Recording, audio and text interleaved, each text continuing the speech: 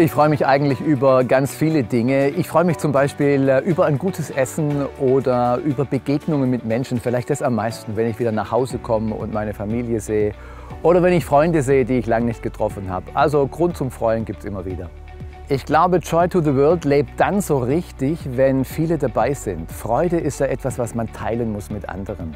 Und Joy to the World heißt ja, man trifft sich, man kommt zusammen, man teilt eine Freude, die riesengroß ist und die dann größer wird für alle Einzelnen, wenn man zusammenkommt und wenn die Freude nochmal vertieft wird und dann alle nochmal neu ein Päckchen Freude mit nach Hause nehmen.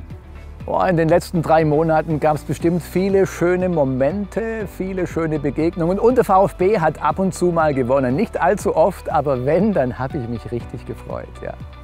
Endlich mal wieder Pfingstmissionsfest bei der LM. Das war schon lange nicht mehr so, wie es eigentlich sein soll nach der ganzen Corona-Pause. Und ich hoffe sehr, dass wir ein richtig fettes Fest feiern und viele Leute dabei sind und der Berg so richtig gerockt wird. Also Pfingsten 2022 wird ein Highlight werden. Joy to the World!